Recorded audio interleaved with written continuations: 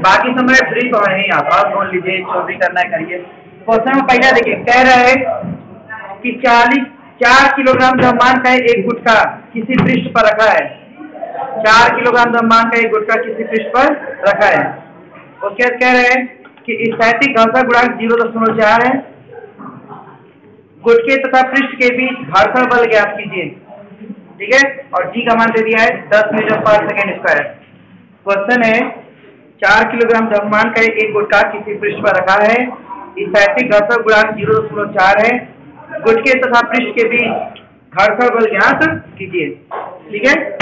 जी, बराबर दिया है। दस मीटर पर सेकेंड स्क्वायर और इसका आंसर है सोलह लीटर देखो बाबू क्वेश्चन नंबर एक का फिगर देखिए। एक पृष्ठ है और इस पर एक गुटका को रखा है। हमने एक गुटका को रखा है। ये गुटके का द्रव्यमान कितना है? बोलिए। चार किलोग्राम गुटके का द्रव्यमान चार किलोग्राम यानी एम जी बराबर चार क्या? ए बाबू फ़ैन मत चलाइए।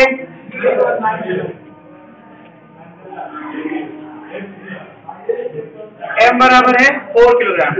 और जी का मान है टेन ये बताओ, नीचे की तरफ़ भार लगता है एम जी ना? अच्छा कितना होगा M G four into ten is equal to forty newton नीचे की तरफ़ चालीस न्यूटन का बल है। और अगर दस को हटा देना, या क्या फोर जी गया ऐसे तो इसको ना न्यूटन कहेंगे। लेकिन अगर जी को भी हटा देना तो किलोग्राम भार हो जाता है। याद रखेगा किलोग्राम में अगर हम जी से भाग देते ना, जी से भाग देते हैं तो क्या गलत है? किलोग्राम भार। फ़िलहाल अभी चालीस न्यूटन का है। हमको कह रहा है कि इन दोनों के बीच स्थैतिक घर्षण गुणांक म्यू एस है ज़ीरो पॉइंट फोर न्यूटन?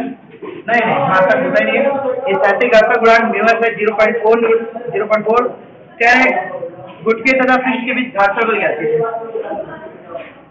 जी घर्षण बल को एफ़ से कहते हैं। अगर मान लीजिए बाय बल इधर लगा रहे हैं तो एफ़ एस एफ़ एस बराबर होता है म्यूएस इंटू आर वैसे हम लोग उसी से लगाएँगे। एफ़ एस इक्वल टू होता है म्यूएस इंटू आर और बाबू, जब प्रतिक्रिया बल एकदम अपोजिट हो, जब क्षैतिज पर रखा हो तो आर किसके बराबर। जी बराबर।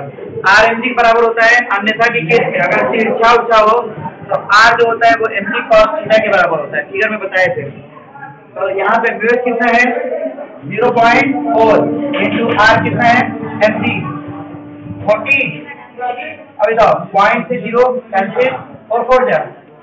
यही आंसर था पहले का। ठीक है? क्वेश्चन नंबर दो देखिए। जी भैया। पॉइंट को कैसे सॉल्व किया हमने? ये ज़ीरो पॉइंट फोर दिया है। ज़ीरो पॉइंट फोर और इंटू ये फोर्टी न्यूटन ठीक है? क्योंकि आर जो होता है एम जी के बराबर होता है। जब क्षैतिज रखा हो तो। तिरछा रखा तो नहीं बराबर होता है। क्वेश्चन में दूसरा कह रहे हैं। कि एक पिंड सड़क पर 10 मीटर प्रति सेकंड की चाल से खिसकता हुआ 50 मीटर की दूरी तय करने पर विराम अवस्था में आ जाता है। ठीक है? पिंड जो है, मान लो पिंड में कौन? किसी को मान एक पिंड है, ऐसे। दस मीटर प्रति सेकंड की चाल से चलता हुआ, यानी इसका प्रारंभिक वेग है दस मीटर प्रति सेकंड। की चाल से चल रहा है और कुछ दूर जाने के बाद यहाँ पे यहाँ पे जब गया, यहाँ से जब यहाँ पहुँचा, बड़ा हो गया, छोटा कर देते हैं। जब यहाँ से यहाँ पहुँचा तो यहाँ पे रुक गया। यानी इसका अंतिम वेग कितना? ज़ीरो। जब रुक जाएगा तो अंतिम वेग ज़ीरो। दस मीटर प्रति सेकंड की चाल से खिसकता हुआ, पचास मीटर की दूरी, यानी यहाँ से यहाँ तक डिस्टेंस इसने कवर किया पचास मीटर। और पचास मीटर कवर करने के बाद ये रुक गया है। ठीक है? इसका मतलब कि विपरीत दिशा में घर्षण लग रहा है, तभी तो रुका है। ठीक है? अभी क्या कह रहे हैं? घर्षण गुणांक क्या कीजिए। आपको निकालना है कि यहाँ पे बताइए घर्षण गुणांक। तो ये बताइए, गति कर रहा है तो म्यूके ना होगा? बोलिए। आपको यही म्यूके का मान निकालना है कि म्यूके कितना होगा? तो एस के बराबर म्यूके इंटू आर एस के बराबर म्यूके इंटू आर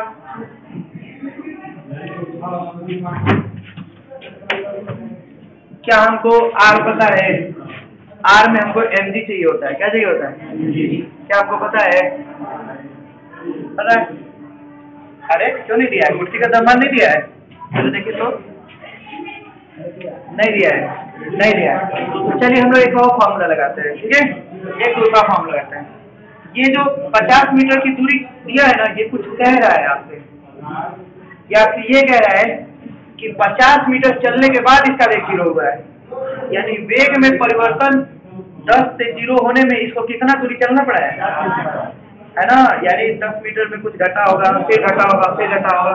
यानी वेग में परिवर्तन दिया है कि 10 मीटर पर सेकंड का हुआ है लेकिन समय नहीं दिया है, क्योंकि अगर समय दे देता ना तो त्वरण निकल जाता और त्वरण से बल मिल जाता। बोलो? अब वही बल घर्षण बल के बराबर होता है क्या? नहीं, जी नहीं, जी यहाँ पे जी से मतलब ही नहीं है।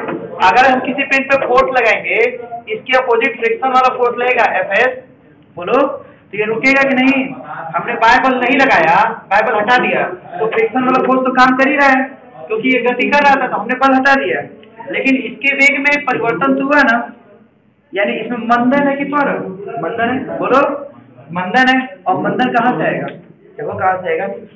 बी यू एस ए निकालना है हमको कोई फॉर्मूला होता है क्या ना टाइम नहीं दिया है आगे बोलो बी स्क्वायर बराबर U square plus two A है ना हाँ? दिया दिया यही तो निकालना है यही तो निकालना है मंदन ही तो निकालना है और याद रखो माइनस में आएगा माइनस में आएगा कि नहीं क्यों माइनस में आएगा मंदन है भैया रुक रहा है माइनस में आना चाहिए तो लिखेंगे भी स्क्वायर बराबर U square plus two A S से बाबू बोलो। अंतिम में कितना? ज़ीरो का स्क्वायर बराबर। फाइव में कितना? टेन का square plus two into acceleration A और डिस्प्लेसमेंट फिफ्टी फिफ्टी इंटू जा हंड्रेड हंड्रेड बोलो। टेन का square hundred plus hundred A किसके बराबर? ज़ीरो ये हंड्रेड हो जाएगा तो minus minus hundred A is equal to क्या? हंड्रेड ए को इधर नहीं हंड्रेड को इधर भेज तो हो जाएगा hundred upon minus hundred solve करें कितना आएगा? माइनस एक। मात्रा बोलो। मीटर पर सेकेंड स्क्वायर ना? मीटर पर सेकेंड स्क्वायर माइनस में यानी मंदन है। यानी हर एक, देखिए, हर कितना है? दस मीटर में ज़ीरो हुआ है ना? तो हर पाँच मीटर से अभी निकालेंगे। वैसे बंधन यहाँ पे है। हाँ कैसे पता चला है ना? देखो फ्रिक्शन निकालने का दो तरीका होता है। फ्रिक्शन निकालने का दो फॉर्मूला होता है। एक फॉर्मूला होता है एफ़ एस बराबर म्यू इंटू आर एक ये फॉर्मूला होता है। और दूसरा फॉर्मूला होता है कि बल बराबर होता है फ्रिक्शन अगर हम किसी पिन पर बाइबल नहीं लगा रहे हैं बाइबल नहीं लगा रहे हैं, और अगर वो रुक रही है तो इसका मतलब इसमें मंदन काम कर रहा है। रुक रहा है तो मंदन काम कर रहा है, रुक रहा है। और ये मंदन कहाँ से आएगा? घर्षण बल से। क्योंकि हमने बाहर से तो बल लगा खींचा है कि नहीं नहीं जाना है। ये अपने आप गति करते करते करते रुक गया। इसका मतलब कि कौन सा बल इसको रोक रहा है? तो घर्षण बल के लिए ये फॉर्मूला ये भी फॉर्मूला तो घर्षण बल यहाँ से मिल रहा है। इस बार घर्षण बल कहाँ से मिल रहा है? त्वरण से ना भैया? बोलो। वेग में परिवर्तन हुआ, वेग घटा है ना। तो वेग में परिवर्तन हुआ है तो क्या मिलेगा हमको? और जैसे ही त्वरण मिलेगा, हम वहाँ से निकाल लेंगे क्या? त्वरण निकल जाएगा तो बल निकाल लेंगे। अब दम्मान नहीं पता है। सबसे बड़ी दिक्कत यहाँ पे दम्मान नहीं पता है। और हमको ये निकालना है। न बल निकालना है त्वरण निकालना है, कुछ नहीं निकालना है। हमको निकाल निकाल, क्या निकालना है? अब तो आर किसके बराबर होता है? एम जी के बराबर। आर किसके बराबर होता है? तो mu S into M into G ठीक है? ये घर्षण बल। अब बताओ एम नहीं पता जी भी अगर ज़रूरत होगी तो दस रख लेंगे लेकिन ये घर्षण बल लगा, यही घर्षण बल लग रहा है तो ये पिंड रुक रहा है क्या? नहीं समझ रहे हो। जब पिंड पे घर्षण बल लग रहा है, इसका वेग धीरे धीरे घट रहा है, रुक रहा है ना तो घर्षण बल किसका काम कर रहा है? यही घर्षण बल किसका काम कर रहा है? मंदन का काम कर रहा है। रोक रहा है ना उसको? अब रोक रहा है तो वेग में परिवर्तन होगा ना। यही ना घर्षण बल मंदन का काम कर रहा है। अब कितना मंदन हुआ पहले वहाँ से निकालना है। अब ये मंदन इतना मंदन हो गया माइनस एक। अब इससे निकालने की कितना बल लगा होगा? तो फोर्थ इक्वल टू क्या होगा? इसलिए बल अब ये बल कौन सा? इस बल को कौन सा बल कहेंगे? घर्षण बल कौन सा बल क्योंकि इसी बल से ना रुक रहा है। यही ना बल बंधन लगा रहा है, इतना तो रुक रहा है। तो घर्षण बल बराबर क्या होगा? घर्षण बल को एफ़ से दिखाएँ तो घर्षण बल बराबर तापमान त्वरण और एक वो भी होता है म्यूस इंटू हाँ दोनों होता है भैया।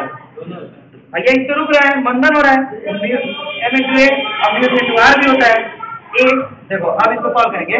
यहाँ पे कहाँ लिख दे इधर हम मिटा देना। इधर वाला मिटा देते हैं। हाँ इसको मिटा देते हैं नहीं तो लिखेंगे, m into A is equal to R किसके बराबर होता है? सी, क्योंकि क्षैतिज तल पे गति कर रहा है, इसलिए आर एम के बराबर। से कट गया। है? इसीलिए दमान नहीं दिया था। पिन का दमान इसलिए नहीं दिया था। तो अब बताओ। ए इक्वल टू क्या हो गया? म्यूस इंटू जी तो म्यूस बराबर क्या होगा? जी का इधर भाग हो जाएगा ए अपॉन जी ए कितना? भैया माइनस एक माइनस एक का मतलब मंदन है। यहाँ पे माइनस नहीं आएगा माइनस उसका तारा कि मंदन है। तो एक घटता है। एक अब बटा में जी का मान कितना? नहीं लिखा है कि लिखा है? में नहीं। लिखा है तो लिखा है तो दस लिख देंगे। नहीं लिखा है तो दस लिख देंगे। क्या लिखा है? लिखा है ना? जी का मान कितना है? दस। अब दस में इससे भाग नहीं कितना जाएगा ज़ीरो पॉइंट वन। ठीक है? ये हो गया मेरे क्या मान? कितना आंसर क्या है? ये आंसर है। तो भैया देखो घाटसर बल इतना होता है, लेकिन ये घर्षण बल यहाँ रोकने का काम कर रहा है। और जब किसी पिन पर बल लगता है तो या तो उसका वेग बढ़ेगा, या तो उसका वेग घटेगा। यही ना होगा? यहाँ पे क्या हुआ? या तो एक तीसरा काम भी होता है, न वेग बढ़ेगा, न वेग घटेगा, दिशा बदल जाएगी। है कि नहीं? वो भी होता है। दिशा में परिवर्तन होता है। तो यहाँ पे जो घर्षण बल लग रहा है, वो मंदन का काम कर रहा है। इसलिए हमने मंदन निकाला, वहाँ से फोर्स मास इंटू एक्सलेशन करके वेट हाँ कोई बात नहीं म्यूके भी लिख सकते हो। गतिक है तो म्यू के लिखो यहाँ एफ़ के लिखो यहाँ पे क्या हो जाएगा? के के और यहाँ पे भी हो जाएगा के यहाँ पे हो जाएगा के ठीक है? ओके गया नोट क्वेश्चन नंबर थर्ड देखा जाए।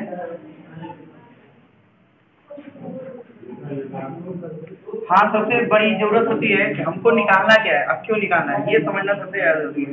चलो, अगले क्वेश्चन में समझेंगे कि कैसे कैसे क्या क्या करना चाहिए हमको, ठीक है? ओके बेटा इसको अभी बना रहे क्या? बना लीजिए आप लोग।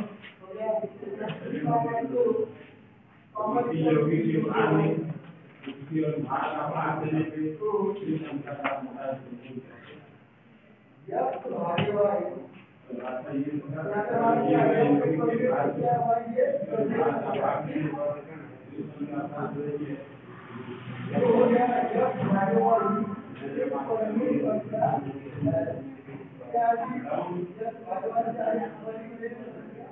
लाइट लग रहा है नहीं थी ना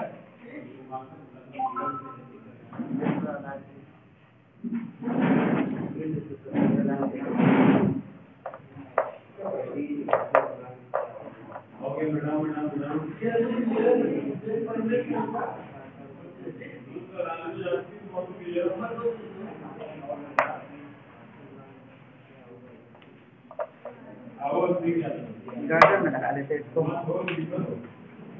हाँ। बस तो भगवान बस बस तो नहीं बस तो एक कुमार था उसके दो बेटियों की शादी अलग अलग घर में हुई एक बेटी का पति लकड़ी का नहीं लकड़ी का नहीं कुम्हार का काम करता था चार चलाता था ना? और एक तो दोनों बे, दोनों बेटियाँ मनाती थी कि एक कहती थी कि बारिश हो जाए हमारा खेती अच्छा हो और एक कहती बारिश न हो हमारा मिट्टी का बर्तन सूख जाए। तो वही आप लोग भी हैं। कुछ लोग मनाते हैं कि कुछ हो, कुछ लोग मनाते हैं, कुछ न हो। देखिए, प्रकृति में जो भी आपदाएँ हो रही है ना, इसके, सबके पीछे बस एक ही इंसान का हाथ है। मतलब एक ही वस्तु का है, वो है मनुष्य। मनुष्य ना, इकट्ठा करने के चक्कर में प्रकृति को बहुत गंभीर नुकसान पहुँचा रहा है। इस पे एक कहानी है, आपको सुनाएँगे कि एक बार अदालत में मुकदमा चला। ऐसी कहानी कल सुना दे, कि परसों सुना दे। अदालत में मुकदमा चला, नदी पे। ठीक है? कि तुमने बाढ़ क्यों लाया? ऐसे तो नदी कही पेश हुई तो नदी कही कि मेरा काम है बहना। वो तो गलती पहाड़ों ने किया है, जो बरसात का पानी को हमें मिलाया है। तो पहाड़ को बुलाया गया। पहाड़ का, मेरी गलती थोड़ी नहीं है। मैं तो खड़ा हूँ, बादल मुझसे आके टकराए ना। तब ना बारिश हुई। तो फिर बादल बुलाया बादल बुलाया तो कहा कि,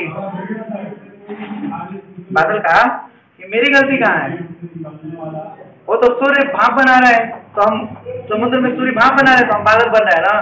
तो गलती तो सूर्य की है। तो सूर्य को बुलाया गया। किसको बुलाया गया? सूर्य को कि आप उष्मा क्यों दिए गलती आपकी है। कोर्ट वाले उसके जज फैसला सुना दिए, गलती आपकी है। आप जब उष्मा नहीं देंगे। आप जब उष्मा नहीं देंगे, बादल नहीं बनेगा पहाड़ से नहीं टकराएगा, नदी में बारिश नहीं आएगा, बारिश का पानी, अब उससे बाढ़ नहीं आएगा, और बाढ़ में हम लोग का नुकसान नहीं होगा। ठीक है? सूर्य पे पाबंदी लगा दिया गया। अब जब सूर्य पे पाबंदी लगा दिया गया तो सूर्य अपनी जो ज्वाला थी उसको बंद कर दिया, समेट लिया। अब सूर्य भी जब समेटा तो पृथ्वी पे अंधेरा छा गया। पृथ्वी पे अंधेरा छा गया। अब जब पृथ्वी पे अंधेरा छाया तो बताइए क्या क्या नुकसान हो गया? मौसम नहीं बदलेगी। दिन रात नहीं होगा। बोलिए, ऊर्जा का प्राथमिक स्रोत तो सूर्य था। वही बंद हो गया। हमारे पास जितने ईंधन रहेंगे चलिए मान लीजिए छह महीना, साल भर, दो साल हम चला सकते हैं। उसके बाद तो ईंधन समाप्त हो जाएँगे। एक मिनट, है। उसके तो हमारे ईंधन समाप्त हो जाएँगे। बोलिए, और जब हमारा ईंधन समाप्त हो जाएगा तो फिर हम लोग क्या हो जाएँगे? दाने दाने के मोहताज जाएँगे। भैया, ऋतुएँ नहीं बदलेंगी, बरसात नहीं होगा पेड़ पौधे नहीं होंगे खाना पीना भैया फ़सल खाना पीना है कि नहीं? खाना पीना मतलब फ़सल नहीं होंगे, कुछ भी नहीं होगा, सब कुछ रुक जाएगा। एक धीरे धीरे इंसान ने गौर अपने मतलब मान लीजिए घमंड में आके, सूर्य को आदेश तो दे दिया कि हम ऐसा करके तुमको हमको मना करेंगे तुम आज से ये मतलब लेकिन फिर कुछ महीनों बाद जब परेशानियाँ बढ़नी शुरू हुई लोगों की, भाई जब तक स्टोर था, तब तक तो लोग खाए पिए, उससे परेशानी शुरू हो गई। तो फिर से याचिका दायर हुई? कि नहीं सूर्य पे जो पाबंदी लगी, उसको हटा दिया जाए। तो एक बार फिर तो सूर्य को पेश किया गया। एक बार फिर तो सूर्य को पेश किया गया। अब कहा गया कि बताइए इन्हें कहा जाए कि हम मजबूर है आपके पाबंदी हटा रहे हैं। वकीलों से गजब है सर। वो कह रहे हैं कि बताइए आपसे पाबंदी क्यों हटाई जाए आपसे लगाई गई पाबंदी क्यों हटाई जाए तो सूर्य अपने अपनी दलीलें दी वहाँ पे। और उस दलीले में दलील जो दी है सूर्य ने तो बहुत अच्छी अच्छी बात उसने कहा। और लास्ट में कह दिया, दलील कभी हम आपको बताएँ? कल बता दें परसों? आज नहीं बताएँगे। आज हमको उतना याद नहीं है दलील के बारे में। लेकिन बहुत अच्छी अच्छी दलीलें दी थी, जिससे पूरा आरोप किसमें है मनुष्य में अब मनुष्य ने कहा कि मनुष्य अगर नदी के रास्ते पे। अगर नदी को रोकता नहीं, नदी के रास्ते पे घर नहीं बनाता तो बाढ़ नहीं आता। गलती सूर्य की नहीं है, गलती महासागर की भी नहीं है, जिसने पानी दिया, भाप बनाया। बादल की भी नहीं है, पर्वत की भी नहीं है, नदी की भी नहीं है, गलती किसी की नहीं है। गलती केवल इंसान की है कि उसने उस पानी को काबू करने की कोशिश किया, बाँध बनाया। उस नदी की जहाँ नदी बहती है वहाँ पे अपना क्या कर लिया? मकान बना लिया, घर बना लिया। तो बाढ़ तो आएगा ही। बोलिए बाढ़ आएगा कि नहीं आएगा? आएगा। तो इंसानों को इंसानों को वहाँ से सचेत किया गया कि आप लोग नदी के मार्ग को नहीं रोकेंगे, नदी के जो हिस्से हैं उसको छोड़ेंगे, उससे हट के आप घर बनाएँगे। और फिर धीरे धीरे सूर्य ने अपना फिर से जगमगाना शुरू किया। फिर फिर फिर फिर जीवन अस्त फिर फिर हमारा जीवन सामान्य हुआ। ठीक है? तो सारी समस्या की जड़ इंसान ही है। हाथ उठा लीजिए अगर इंसान नहीं ये काम करता ना, कोई जानवर को कमाने की ज़रूरत नहीं है। किसी को नहीं कमाने की ज़रूरत, केवल इंसान को छोड़ देता सब अपना जाते चल के चले आते हैं। खच्ची उच्ची ऐसी चुपी चली आती है। सबके लिए प्रकृति ने बनाया है कुछ ना कुछ। हमारे लिए भी बनाया था। प्रकृति ने अगर हमको बनाया है तो हमारे खाने पीने के लिए भी इंतज़ार किया था। बनाया था। लेकिन हम लोग क्या हो गए? बुद्धिजीवी हम लोग क्या हो गए? बुद्धिजीवी और जब बुद्धिजीवी है तो हम लोगों ने फ्यूचर का सोचना शुरू किया। कि हम दो महीना बाद गेहूँ घास खाएँगे भैया अभी स्टोर करके रख देते हैं। तो गेहूँ कैसे ज़्यादा पैदा हो गया। हम लोगों ने सारी गलती हम ही लोगों ने की है। और उसका खामियाजा हम ही लोग भुगतेंगे। आप अभी नहीं। पचास साल सौ साल में हम ही लोग भुगतेंगे उसका खामियाजा। ऋतुएँ बदल गई है। जब जब जाना पड़ना चाहिए, जाना नहीं पड़ता है। जब गर्मी पड़ी थी, गर्मी नहीं पड़ता है। बरसात होने थी बरसात भी होता है। अब बरसात हो रहा है। रोज हो रहा है। अब मई, जून फिर गर्मी गर्मी तो लोग मार्च, अप्रैल तो ठंडी रहता है। और जनवरी से ठंडी पड़ना शुरू होता है। सही बता रहे हैं? दिसंबर तक ठंडी नहीं पड़ता है। जनवरी से ठंडी पड़ना शुरू होता है। ऋतुएँ बदल गई हैं। लेकिन इंसान ने अपना हरकत नहीं छोड़ा है। एक बार जब लॉकडाउन हुआ था ना लॉकडाउन हुआ था देखे थे, मई में बारिश शुरू हो गई थी। खूब बारिश हुई थी। इंसान अगर वैसे ही हो जाए ना, प्रकृति से छेड़छाड़ ना करे इंसान सब कुछ सीख जाएगा। लेकिन इंसान बहुत क्या छोड़े क्या करे इंसान? चलो, क्वेश्चन नंबर तीन देखते हैं। क्वेश्चन नंबर तीन। कह रहे हैं एक पिंड खुरदुरे क्षैतिज तल पर दो मीटर प्रति सेकेंड स्क्वायर के मंदन से गति कर रहा है। यानी उस पर बार बार मंदन लग रहा है, यानी उसका वेग घटेगा और एक समय बाद वो रुकेगा। ओके? ठीक है क्या दिया बरसी भगवान, बरसी हाँ हाँ गए भगवान बरस रहे हैं। अभी उन्हीं की बारिश हुई थी बरस रहे हैं? देखिए, एक पिंड है, इस पर मंदन लग रहा है। सीधा बैठे ये देखिए अगर आप पढ़ेंगे ना ना तो हम आपका साथ देंगे। अगर आप नहीं पढ़ेंगे ना तो आपका साथ नहीं देंगे। फिर आपको ये कोचिंग पर भी जाना पड़ेगा।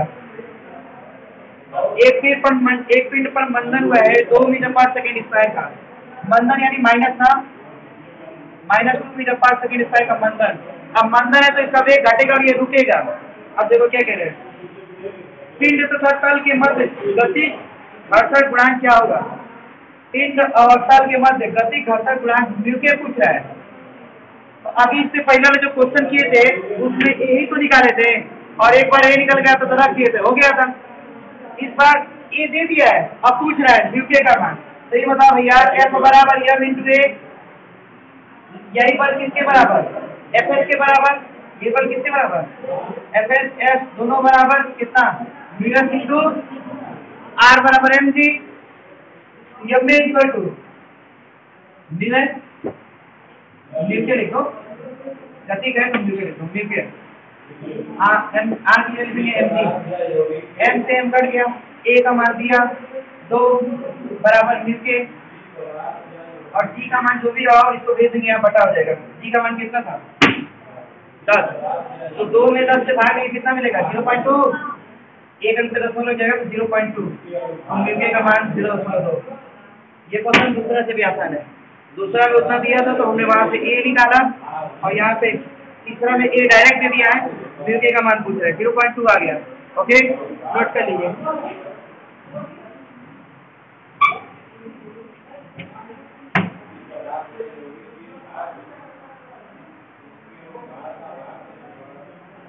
सारी समस्या जो इंसानी है। और जब कोरोना वायरस आया था, सब तो रुक गए थे। बहुत लोग मरे थे। मात्रक होता ही नहीं है। मात्रक होता ही नहीं है। नहीं स्थैतिक घर्षण गुणांक का होता है, ना गति घर्षण गुणांक का होता है। मात्रक होता ही नहीं है। अच्छा लगा आपसे आपने पूछा कि सर एंसो लिख रहे हैं तो मात्रक भी होना चाहिए। कुछ लोग तो एंसो लिखते मात्रक ही भूल जाते हैं। लेकिन इसका मात्रक नहीं होता है, इसलिए नहीं लिखा हमने। ठीक है?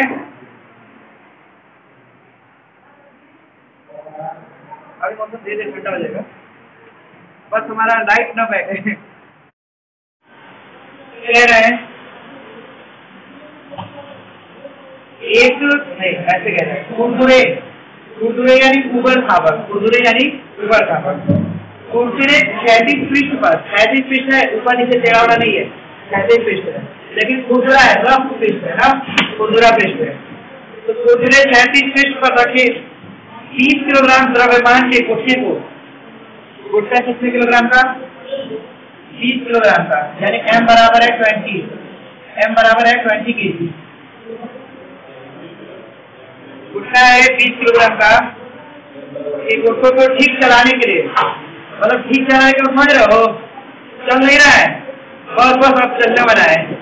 ठीक चलाने के लिए। हाँ। ठीक चलाने के लिए। अंठानवे न्यूटन बल अंठानवे इसलिए दिया है क्योंकि नौ बस हमारा पता है। ठीक है अंठानवे न्यूटन के बल की आवश्यकता होती है। ठीक चलाने के लिए अंठानवे न्यूटन के बल की आवश्यकता होती है। यही बताओ जब ठीक एकदम गति करना प्रारंभ करना होता है इसको तो इसका मतलब कि एफ़ एस सिक्स के बराबर हो जाता है? बाहरी बल एफ़ के इससे बल थोड़ा भी और बढ़ाएँगे ना तो गति करने लगेगा।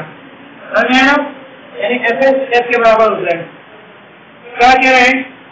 घर्षण गुणांक का मान पर इसमें पूछ रहा है घर्षण गुणांक का मान पर लिख दीजिए टी का मान दिया नौ सुनोना भैया यही फार्मूला है। यही फार्मूला है। जब ठीक गति कर रहा है गति करने के लिए प्रारंभ है। इसका मतलब लगाया गया बाय बल घर्षण बल के बराबर बाय बल कितना? अट्ठानवे। घर्षण बल कितना? इंटू आर घर्षण बल कितना म्यूएस इंटू आर घर्षण बल हमेशा म्यूएस इंटू आर होता है।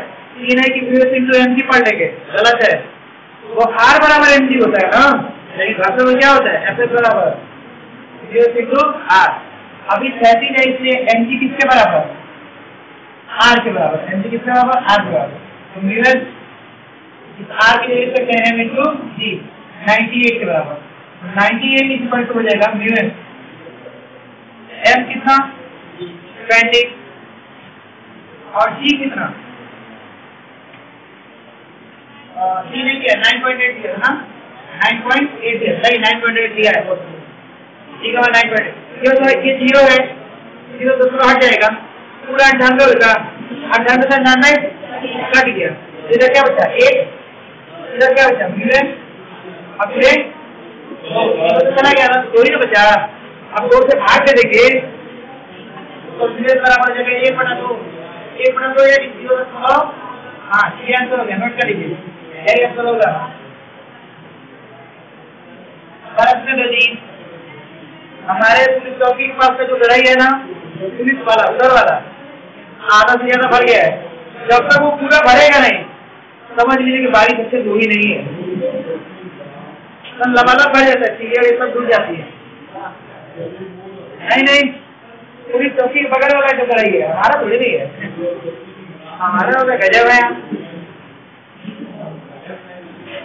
हमारा खेती में तो कढ़ाई का हाथ होगा ये तरह तभी ना खाने के तो कढ़ाई मिलेगा।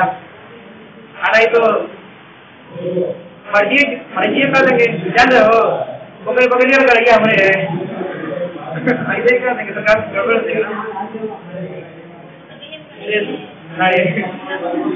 दो कढ़ाई है, एक साइड है, एक इस साइड है, बीच में फ़र्क जाती है। बीच सबकी लगी ये पुलिस चक्कर आप देखिए ना? इधर कढ़ाई है, इधर कढ़ाई है, बीच में क्या है? और हमेशा बचता है। क्योंकि गीला हो जाता है ना, हमेशा बचता है। और उसमें हमेशा कट चलता है। अभी आज किसी की है तो। देखिए कब तक है। अगला क्वेश्चन देखते हैं हम लोग। क्वेश्चन नंबर पाँच। पानी आ रहा है। इस पे इन्वर्टर पे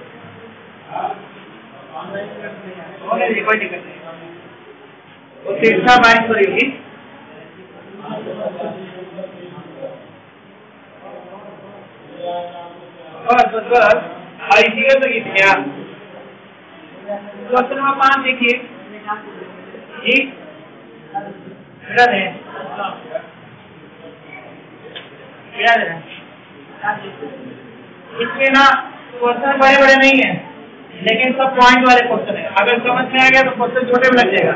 और नहीं समझ में तो पारा भर में लगेगा। अब समझ में तो पारी भर में लगेगा।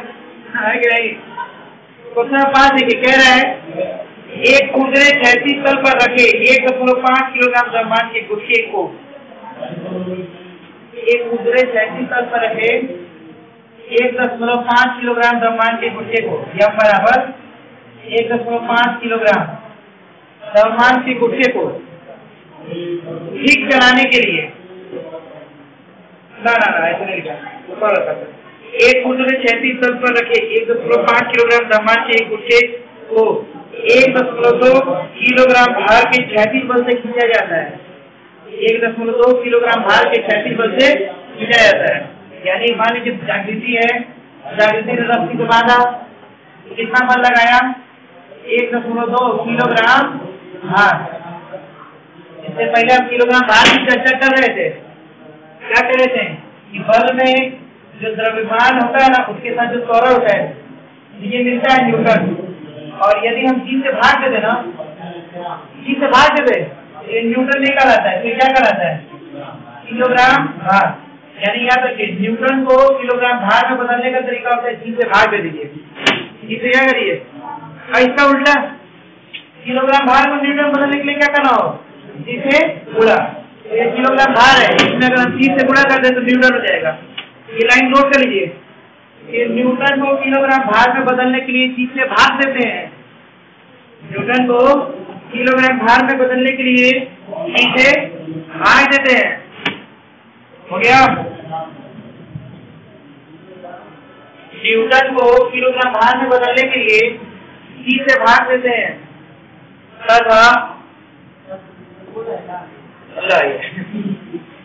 अभी कुछ कुछ बोल जाएगा न्यूटन को किलोग्राम भार में बदलने के लिए से भाग देते हैं, तथा किलोग्राम भार को न्यूटन में बदलने के लिए जी से गुणा करते हैं, तथा किलोग्राम भार को न्यूटन में बदलने के लिए जी से गुणा करते हैं। हो गया? ये इंपॉर्टेंट लाइन है नोट करिए रहेगा ओके देखिए। तो हमने खींचने वाला फोर्स लगाया है। रस्सी से बाँध के रस्सी चलेगी। कितना बल लगाया है? 1.2 किलोग्राम वेट किलोग्राम भार न्यूटन बदल रहा है, किससे गुणा करेंगे? जी से गुणा कर देंगे। ये हो जाएगा F equal to one point two और जी इस गुणा तो इतना जी और क्या जगह न्यूटन। यहाँ तक हो गया क्वेश्चन जितना पढ़ा हमने वहाँ तक कर लिया। अभी आगे देखते हैं। एक मुद्रे क्षैतिज तल पर, एक दशमलव दो, एक दशमलव पाँच किलोग्राम द्रव्यमान की, एक कुर्सी को एक दशमलव दो किलोग्राम भार के। क्षैतिज बल से खींचा जाता है, हो गया? आज कह रहे हैं तल तथा कुर्सी के बीच घर्षण गुणांक ज़ीरो दशमलव तीन है। ये भी दे दिया। इन दोनों के बीच जो घर्षण गुणांक है ना, वो ज़ीरो दशमलव तीन है। ठीक अब क्या पूछ रहे हैं कि गुटके में उत्पन्न त्वरण का मान जी के पदों में ज्ञात कीजिए। गुटके में उत्पन्न त्वरण का मान जी के पदों में ज्ञात कीजिए। हमको जी के पदों में निकालना है। सॉरी जी के पदों में निकालना है। क्या निकालना है? ए का मान। ए बराबर निकालना है कितना जी? या जी का मान नहीं रखना है? बल्कि जी के पद नहीं हमको निकाल देना है। तो भैया बताओ जरा हमको। कितना बल लगाए? और घर्षण बल विपरीत दिशा में रहेगा फिर भी ये गति कर रहा है कि नहीं? क्योंकि त्वरण तो गति कर रहा है तो अधिक बल में से कम बल को घटाएँगे, जो शेष बल बचेगा उसी से गति करेगा। तो अगर गति इधर कर रहे हैं तो ये बल क्या है? जिस बल को घटाएँगे। कम बल यानी घर्षण बल को घटाएँगे। शेष बल बचेगा, उससे गति करेगा। यानी शेष बल द्रव्यमान में त्वरण होगा क्या? अधिक बल में से कम बल को घटाएँगे, द्रव्यमान में त्वरण होगा। उसी से गति करेगा। यहाँ तो मान लेते हैं कि एक और से गति करता है। मान, माना क्या? गुटका कितने तरह से गति कर रहा है? गुटका एक और से गति करता है। गुटका एक और से गति करता है। तब एक और से गति करता है, तब बोलो। अधिक बल, यानी बाहर की तरफ़ लगाया गया बल। ये वाला बल। में से घर्षण बल, पीछे की तरफ़ लगाया गया बल। तो घटा दें। शेष बल से गति करेगा। और शेष बल के लिए फॉर्मूला होता है मास इंटू एक्सेलरेशन ये बल दिया है, कितना दिया है? वन पॉइंट टू जी और माइनस एफ़ एस बराबर भैया एस इंटू आर एस क्या होता है? Mu S into R mu S into और आर किसके बराबर है? अगर क्षैतिज है तो एम जी के बराबर। M into M into A okay, अब हम यहाँ लगा दे। यहाँ से देखिएगा। एम लिखा है क्या बाबू? सब पहले रखते जा रहे हैं। देखना वन पॉइंट फाइव ए बराबर one point two G minus where का मान दिया है क्या? Zero point three zero point three और into R equal to M G M का मान कितना? वन पॉइंट फाइव और इंटू जी सही है ना? अभी देखो, पंद्रह में तीन से बड़ा करेंगे, पंद्रह से पैंतालीस। एक अंक दस यहाँ से एक अंक दस यहाँ। दो अंक दस तो one point five A equal हो जाएगा वन पॉइंट टू जी और माइनस पंद्रह यहाँ पैंतालीस। कितने अंक दस बोलो? एक एक, दो। एक एक, दो। ज़ीरो दशमलव चार पाँच जी हो जाएगा। बोलो? कौन बड़ा? एक दशमलव दो बड़ा कि ज़ीरो दशमलव चार पाँच बड़ा? ज़ीरो दशमलव चार पाँच बड़ा ना? एक बड़ा। है ना, घटाने के लिए क्या करते हैं? एक दशमलव दो लिखते लिए दशमलव को दशमलव के नीचे लिखते हैं। और क्या ऐसे लिख लेते हैं? इधर ज़ीरो ज़ीरो, ऐसे। ऊपर कुछ नहीं, ज़ीरो बढ़ा दो। कुछ नहीं, ज़ीरो बढ़ा दो। चलो, ये छोटा है, इससे अस्सी ले, दस में पाँच है। ये इसको दिया तो एक हो गया। छोटा है तो फिर ये इससे अस्सी लेगा। तो ग्यारह हो जाएगा ग्यारह में चार जाए। और ये इसको दिया तो ज़ीरो हो जाएगा। कितना है? ज़ीरो दशमलव वाह भैया ज़ीरो दशमलव चार पाँच टी आ जाएगा किसके बराबर? वन पॉइंट फाइव के बराबर। One point five three equal to zero point seven five हमको ए का मान निकालना है। ए बराबर होगा zero point seven five upon one point five into क्या? जी आप दशमलव को दो स्थान हटाएँगे तो नीचे से भी दशमलव दो स्थान हटेगा।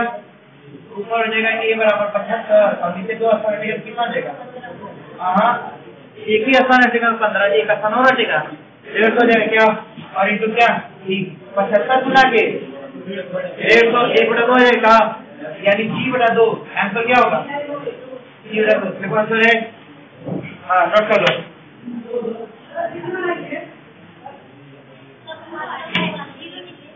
हाँ इसका मात्रक होगा मीटर पर सेकेंड स्क्वायर लेकिन हम लोग मात्रक नहीं लिख रहे हैं। क्यों? क्योंकि जैसे ही का मान रखेंगे दस सौ आठ मीटर पर सेकेंड स्क्वायर तो ऑटोमेटिक मात्रक आ जाएगा। ये जी में मात्रक है कि नहीं? इसीलिए मात्रक नहीं लिख रहे मात्रक लिखा है क्या आंसर नहीं लिखा होगा। तो जी में मात्रक होता है?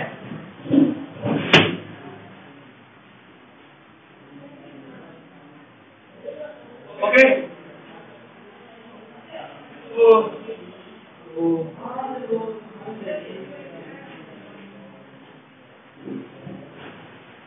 अभी मौसम ठंडा हुआ कुछ? क्या करें छुट्टी कर दिया जाए क्या कि हुए घर अभी पढ़िए। और हमको लगता है कि जयराम तो नहीं आएँगे तो, तो लग रहा है कि पूरा सारा नंबर खत्म कर देंगे हम तो। है पढ़ाए। तो बायोलॉजी क्या करेंगे?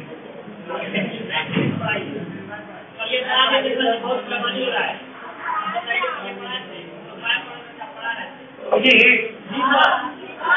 अब ख्याल नहीं किया क्या आप बता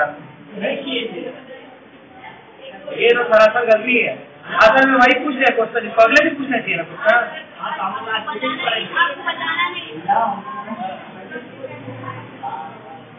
अच्छा माफ़ करिए अब से ध्यान रखेंगे।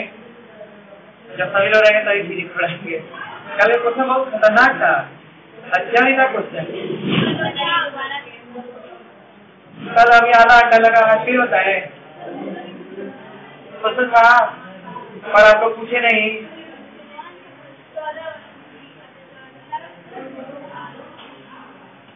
हाँ पूछना चाहिए था ना।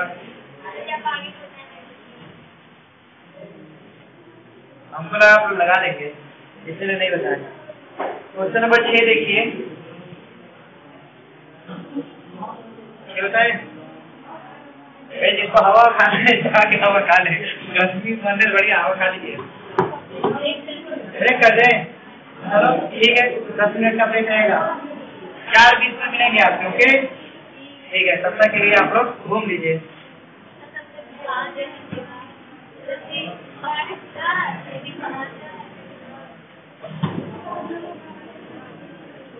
मोबाइल